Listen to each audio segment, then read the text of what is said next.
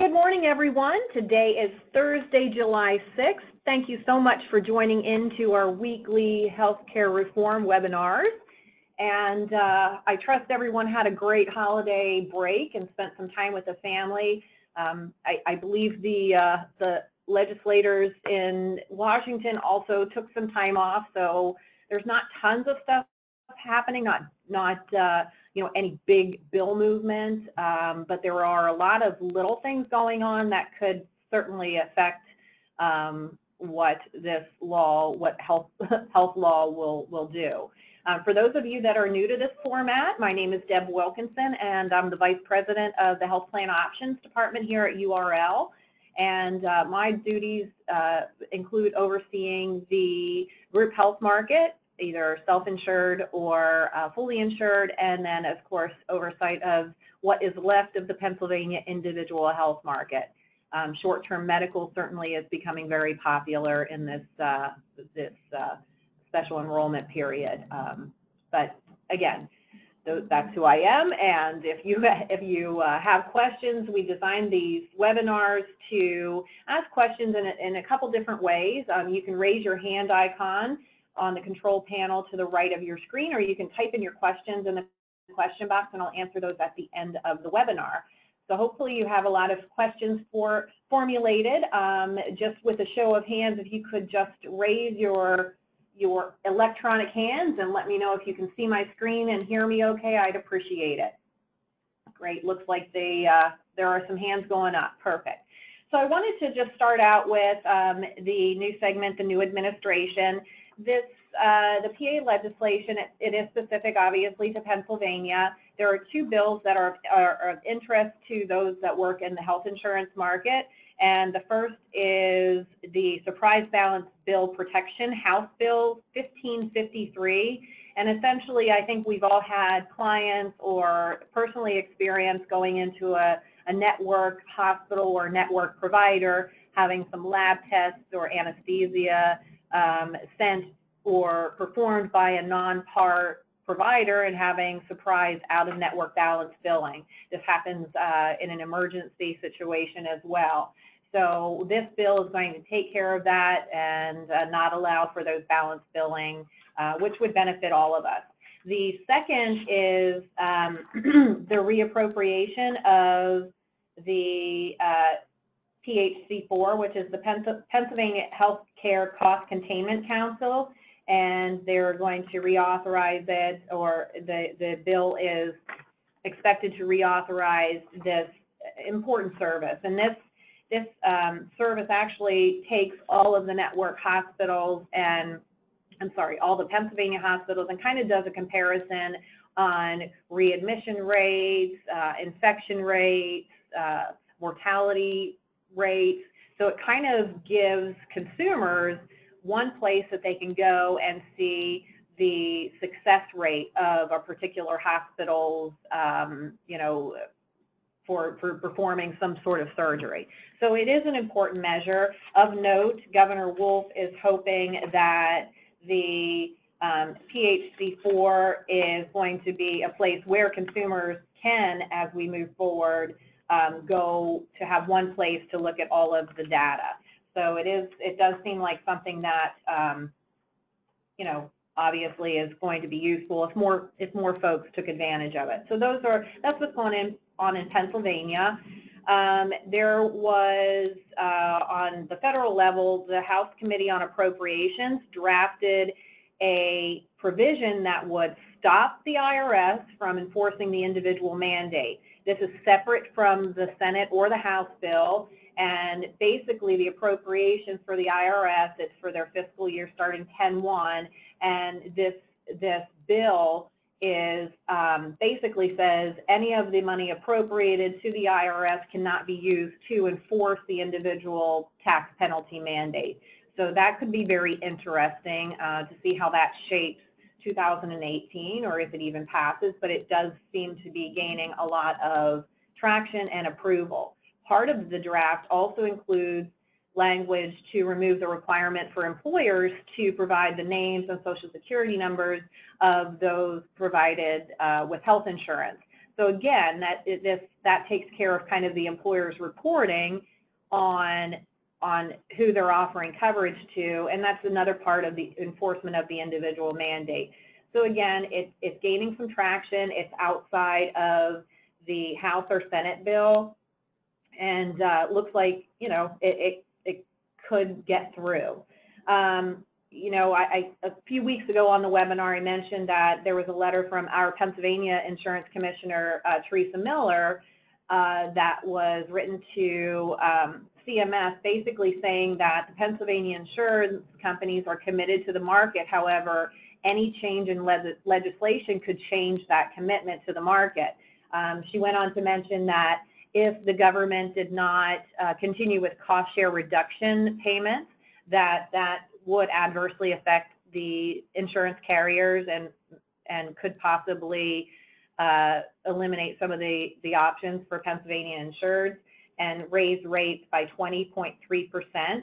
Now the cost share reductions um, are kind of put within both within the House bill and the Senate bill in the form of the stabilization funding. So it's kind of just a new name for an old controversial um, aspect of ACA, but so I'm not too worried about that cost share reduction not being in any of these bills, but if the mandate goes away, again, there's, you know, that's, that's good news for free Americans. Um, however, there is an adverse effect, and the insurance commissioner mentioned that the rates without an individual mandate could increase by 23.3%. So again, you know, cause and effect. If the mandate goes away, um, then the carriers have to make sure that enough insureds are going to be coming into their system and enough premium dollars are going to um, be there. So again, it's who knows what will happen, but I thought it was important to, to let you know of this latest update.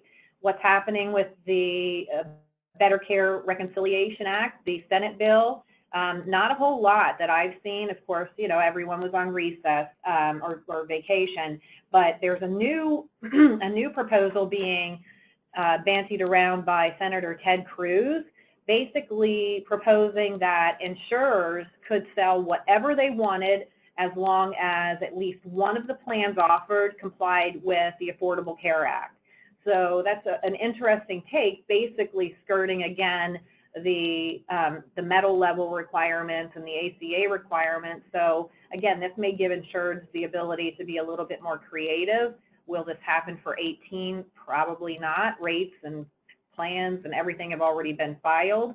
Um, but it is interesting and it's gaining um, a lot of support. Senator Mike Lee, uh, Representative Mark Meadows of, you know, the, the Freedom Caucus is gaining, you know, actually endorsing it and saying that they would support such a, a bill. So again, it's, it, Rand Paul a couple weeks ago basically said that the only way to get this BCRA through is to split it up, do two separate bills, one that the conservatives could agree on and ones that the Democrats could agree on.